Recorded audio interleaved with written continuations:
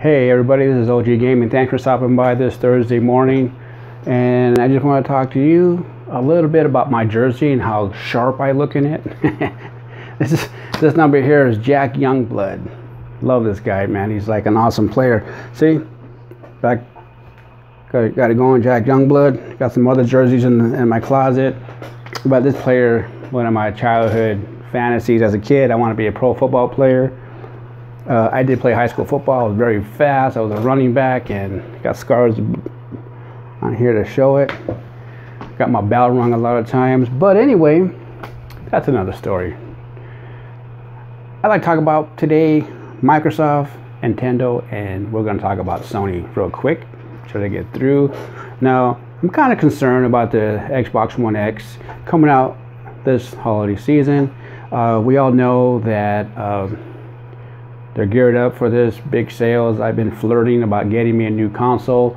Um, I was going to go out and get the Pro, PS4 Pro, but then there was rumors for a while generated that there's going to be a PS5, and then now it's been confirmed that there is one coming. It might be as early as next year or even the following year, 2019.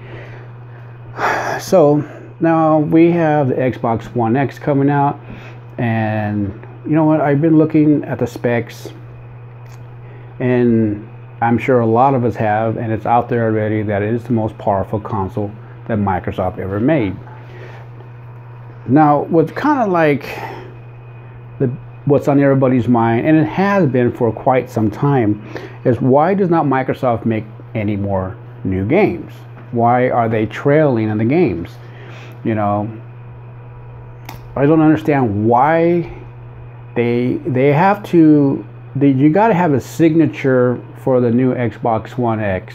You got to have a, a good game to to make me think, okay, I'm gonna go out and buy it. I love that game, and it's an exclusive game for the Xbox One X. Okay, and don't you think it's kind of odd that you're not seeing that? You've seen projects go on the table, they announce this game is going to come out, and then they pull the plug on that game and with really no explanation why they're doing it. Now, and I have not seen a game. Yeah, I want to get that too, man. But it's not. I want to go out and get the Xbox One X, but there isn't really any new titles.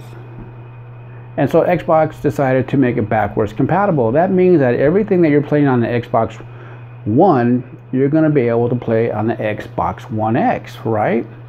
But you're going to have better graphics. I'm not going to say they're not making any gains for the new Xbox One X, but the graphics are going to be that you're going to be playing on the Xbox One. Now, once you want to have better graphics and you know stuff like that in new games, and that's where I think uh, Microsoft Xbox One, Xbox One X, they're they're not really they're hurting in that department and all they're, they're cheating themselves out. They're hurting the customers. And then i, I want to say this i am not trying to bash microsoft or bash any of the companies that i'm about to mention in this video. I i think that for so many years nintendo did the same thing that microsoft did when nintendo first came out. Nobody made Nintendo only made their own games. They did not sub out to other studios to make their game. And that hurt them in so many different ways that uh, there was a lot of games not coming out fast enough. And the, the games did come out. They were pretty good games. But I think that you're going to introduce a new console, you're going to have to have new games that go with that console. You just can't keep making compatible, backwards compatible, backwards compatible. Because it means you're just going to bring those old games that's on your old consoles and bring them to the new one. So what are the new games for the new console? Keep in mind that they're not, I'm not saying they're not going to make any new games for the Xbox One X, but why does Microsoft come out with a lot more games? And I know that this is the truth about Microsoft, they do not, because I have a lot of friends at Xbox and I hear that same complaint. They tell me they don't come out with a lot more games. And I tell them the same thing I'm saying in this video, that you know who did the same thing? Nintendo. Nintendo. And I think they still do that. You know, I haven't had a Nintendo product in a very long time. Um, I can't remember. I think I got like a some some little little handheld. Forgot the name of that thing, but it's in my room. But um, now, for so many years, it seems like PlayStation's always been the, the, the, the lead in the in, the, in that department, making consoles and and making games. And it seems like there's a lot of studios. There's a studio like Santa Monica Studios. There's a lot of studios out here where I live at. Um, that they they they have other studios to make their games, and that's why they're able to go out and produce a lot more games than Microsoft. Now, it's not that Microsoft can't do that. Microsoft is a very big company, very profitable company. Uh, so why is that an issue that you cannot make new games for the Xbox One X? Exclusive games. We have not seen anything like that yet. And and the sales drop, and that's why. And if you look back on the Xbox One, this, uh, the PlayStation 4 sales were way higher than what you see for the Xbox One. And this is where, if you want to get competition, is good.